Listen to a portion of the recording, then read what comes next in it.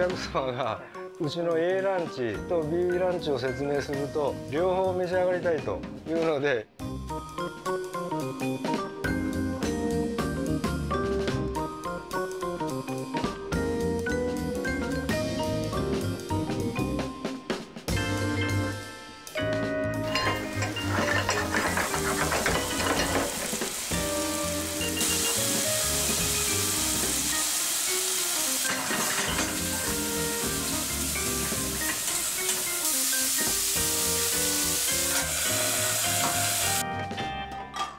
ずっともう絶えさず毎日のように火を入れて当ではもうそのスタイルですね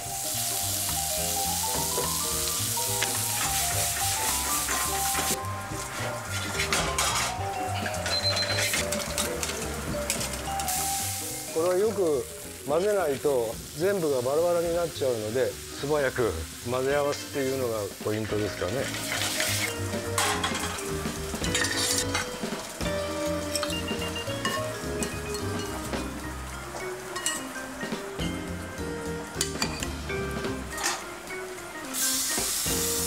ろいろやってみてこのアンチョビとパスタこの辛みが一番いいかなっていうんでこれをまあ皆さんに召し上がっていただきたいですね。